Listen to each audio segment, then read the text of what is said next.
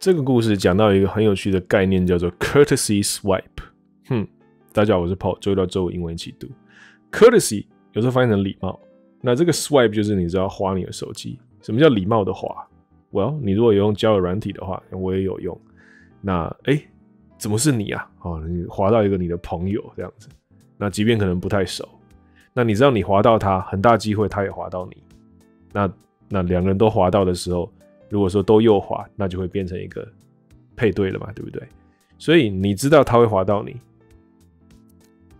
然后你现在滑到他，那你要不要往右滑？还是你会觉得啊，雪这个人我认识诶，如果我们真的配对到，不是很尴尬嘛？我对他又真的没兴趣。那可是下一次他见到你，可能就奇怪，我又滑到你，你怎么没滑回来之类的？好，所以这里就这个这个概念，就礼貌性右滑这样。好，你没有玩交友软体，你可能不知道这个东西啊，或者是叫约会软体嘛，交友软体随便啦。So navigating the courtesy swipe on dating apps, yeah。来，我们看一下这故事说什么。So I'm a 28-year-old single female and on two dating apps, one more traditional, Match, and the other Bumble. 呃，先把它读完好了。My question is about Bumble, where the female has to message first. Oh, really? A couple of times, I have matched with guys I know in real life, but acquaintances, not people I know extremely well. Both times, I have not initiated the message, even though I have been interested. The match ends up expiring after 24 hours with no contact. There is such a thing as a courtesy swipe. When you swipe on someone you know, friends, oh, you know, or the friends of friends, just to be nice. I don't do it though. I guess my assumption is now they know I'm interested。好，所以第一段结束。二十八岁女生，单身女生，用两个交友软体，一个是比较传统的，就叫做 Match，我好像以前听过，可是没用过。另外一个叫 Bumble，我的学生跟我说过，我还没有用用看，或许我应该用用看。所以总之，另外一个叫 Bumble，就 Bumble B 的 Bumble。那他的问题就是有关于 Bumble。那 Bumble 的重点在于。是必须女生先传讯息，他这里都有写很清楚给你看，所以也就是说配对到了之后，男生不可以先去骚扰女生，必须让女生来当一个传讯息的主动角色才可以。所以他说了，My question is about Bumble（ 括号 where the female has to message first），OK？所以他有几次跟男生配对在一起，a a couple of times I have matched with guys I know in real life。他跟现实生活中认识的男生配对到了，但他强调只是。点头之交，所以 but acquaintances，所以 acquaintance 这个字就是点头之交。其实，OK，那这里讲一个重点，什么就就是这个 acquaintance 这个重点，就是它其实也可以被当成一个动词来用，就是 acquaint，acquaint。那 acquaint 这个字，刚刚讲点头之交是 acquaintance，那 acquaint 就是变成点头之交吗？呀，就是变成你去认识一个人，虽然说也不见得多认识的很深，可是总之就认识一件事了。所以它的用法跟熟悉这个字其实是一样的。熟悉你知道叫 familiar，可它是形容词。所以你看，首首先在这里就很烦了。acquaintance 是名词，so he is an acquaintance，OK？或者说我跟你都认识这个人，可是我们跟他都是点头之交，所以我会说他是我们互相认识的的一个点头之交。所以，so that person is a mutual acquaintance of ours，OK？mutual acquaintance，所以 acquaintance 就是。点头之交，然后它是个名词，somebody is an acquaintance。那 familiar 这个字却是形容词，所以这个就一开始就有点烦。那接下来更烦的就是它们都可以变动词，所以 acquaint 是动词，还有 familiarize 也是动词。OK，两个都是动词，怎么用？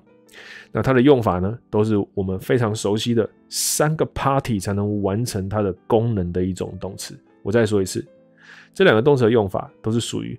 三个 party 一起出现才能够完成它使用的功能。什么叫三个 party？马上举个例子试试看。我假设我今天刚搬来一个新的 neighborhood，然后我需要熟悉一下这个 neighborhood。呃，怎么熟悉呢？我借由一个住在附近的朋友，他带我走一走附近有什么早餐店、午餐店、自助餐店之类的，哪边可以修机车，哪边可以修皮鞋，对不对？所以他。来带我熟悉这个环境，所以这三个 party 就是朋友。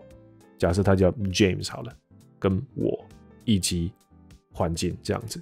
So James familiarizes me with the neighborhood。这个句子可能看起来你会觉得好奇怪哦，可是这真的是正确的用法。那如果你觉得奇怪，我换一个我更常用的例子好了，就我让学生熟悉文法。你看我现在在做的事情，是不是就让同学让同学熟悉这个单字的文法怎么使用？So I am trying to familiarize 动词 my students, people who are watching, including you, with English grammar。讲短一点，刚刚的内容太多了。So Paul is trying to familiarize his students with English grammar。这样听懂了哈？ 所以谁 familiarize 受词 with 第三件事情，这就是我讲的三个 party involve 在里面的一个完整的一个使用。所以谁让谁跟什么东西变熟了，这样子。那 acquaint 的用法一模一样。OK，so I'm trying to acquaint myself with the new new knowledge from this book。所以我试着让我自己跟这本书里的知识给熟悉起来。Acquaint myself with something，这样听懂哈？所以他们用的介系词都是 with 这样子，OK？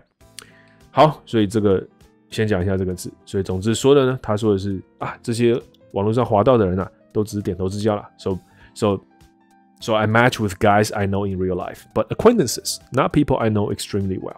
所以就只是好点头之交。Both times，所以两次。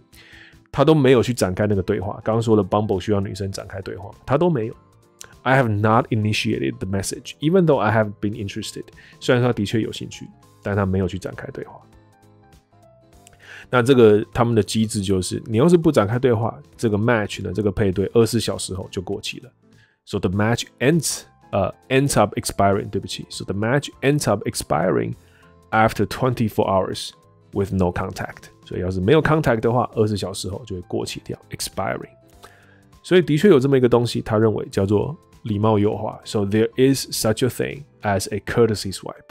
When you swipe on someone you know or friends of friends，就朋友的朋友。好，所以要是你认识或者 someone 是一个朋友的朋友，那 just to be nice，yes。但但他是不会这么做的，也就是说，他他的诱惑是真正有兴趣。所以他所谓的 I don't do it though。意思就是我不会这么干。我要是诱惑你，我就真的对你有兴趣。所以我并不是在对你做一个礼貌性诱惑。所以他下一句最后一句就说就是 I guess my assumption is now they know I'm interested。所以他就被他就会假定他们应该是知道我是有兴趣的了这样子。然后呢，下一段就有点矛盾了。Ideally, I would like them to reach out to me。先把它读读完后，Both times they have been a Facebook friend and or had my number already, so they have access to reach out to me. They can't through the app unless I message first. One time, I genuinely did have it expire before I got a chance to message. Do you have any thoughts on whether I should reach out on the app or if the whole courtesy swipe is a legitimate thing? I guess I'm scared or scared of rejection or that's or that it's not genuine interest. This is so confusing. You're confusing yourself. But anyway，来把这个翻译一下。所以两次都是脸书的朋友，或者总之啊，就是这两次对方其实都有他的号码，所以这个人是可以打电话来给他的。So they have my number already. So they have access to reach out to me. 他们有这个 access，有这个取得的功能啊。哎，我可以打电话给你嘛，对不对？这样子。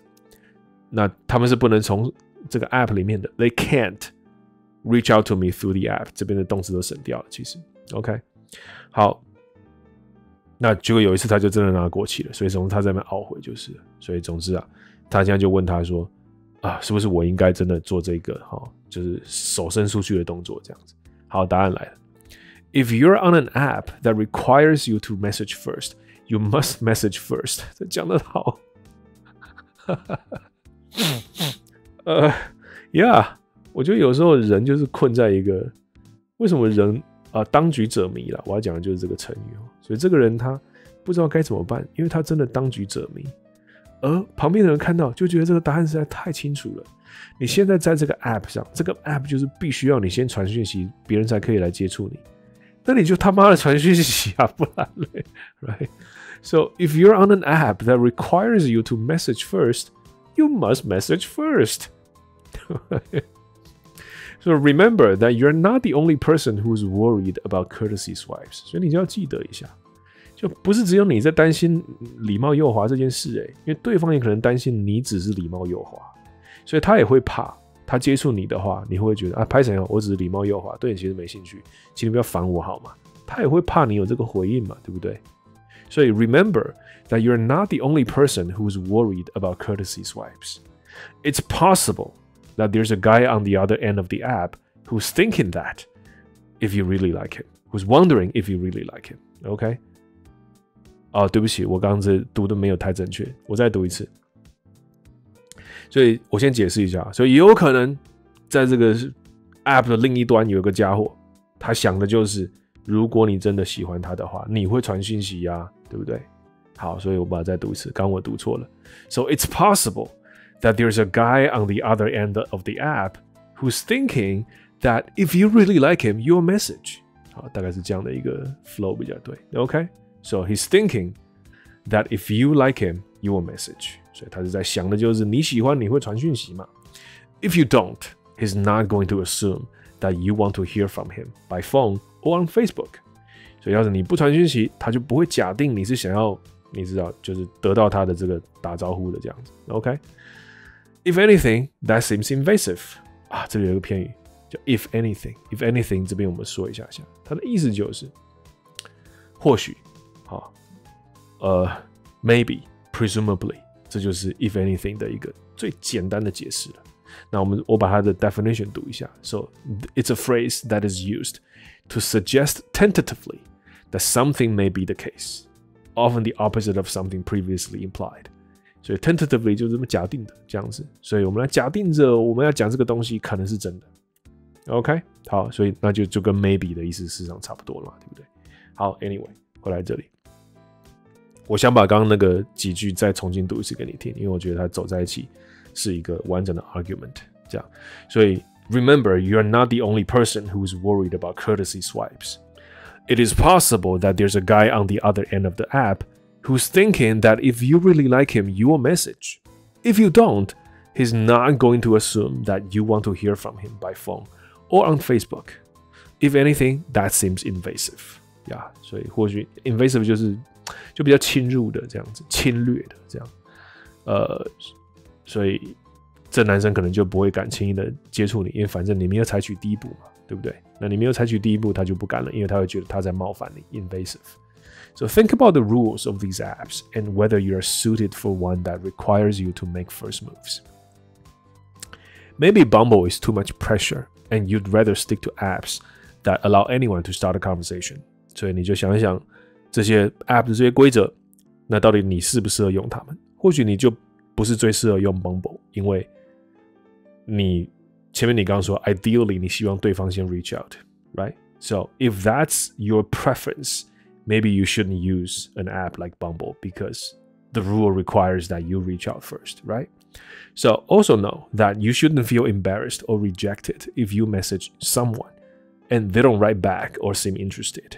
所以，要是你今天真的传讯息给一个谁，然后他没有回信的话，你也不要觉得 embarrassed 丢脸，或者就觉得被打枪 rejected。 that's just part of the dating experience，这就是这个呀，这是过程的一部分。我在交友软体上跟人家配对到，我丢个信息，人家也不见得会回。哇，说真的，这有时候会被讲成好像在钓鱼一样。But in a lot of ways, it is very similar to fishing. Okay, so there's no shame in writing hi just to see what you get in return. 所以你要是说个 hi，没什么好丢脸的。说实在的，OK。好，所以这个分享一下下，要是你没有在用 dating app 的话，可能你会觉得这个东西蛮。 蛮不太是你的同温层，但无所谓，听一下无妨嘛，反正我们都学英文。好了，Anyway，我是 Paul，我们下次见。